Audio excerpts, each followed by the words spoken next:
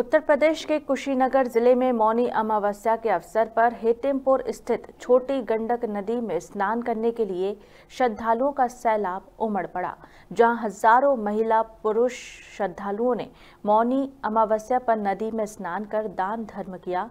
बताने कि हेतिमपुर नगर पंचायत धार्मिक और सांस्कृतिक दृष्टि से महत्वपूर्ण स्थल में से एक रहा है। यहाँ वर्षों से आस्था और श्रद्धा की डुबकी लगाने श्रद्धालु बड़ी दूर दराज से आते हैं, जिसके लिए इस बार भी नगर पंचायत अध्यक्ष वीरेंद्र यादव के नेतृत्व में मेले स्थल और नदी घाट पर बेहतर साफ़ सफ़ाई की व्यवस्था की गई थी ताकि श्रद्धालुओं को कोई दिक्कत ना हो।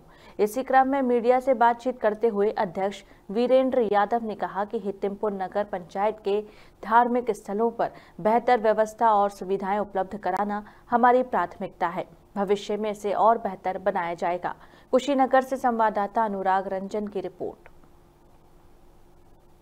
मौनी अवस्था में आए हुए सभी श्रद्धालुओं का हम स्वागत अभिनंदन और वंदन करते हैं। मौनी अवस्था में आए श्रद्धालुओं ने अपना जो स्नान किया पूजा पाठ किया और शांति व्यवस्था के साथ चले गए। मैं कार्यक्रम मेरा मेला सफल रहा, इसके लिए श्रद्धालुओं को भी बहुत बहुत धन्यवाद देते हैं। भविष्य में प्रयास किया जा रहा है कि बेहतर से बेहतर जन सुविधाएँ उपलब्ध कराई जाएँ और जनता ने हमें नगर अध्यक्ष के रूप में आशीर्वाद प्राप्त किया है।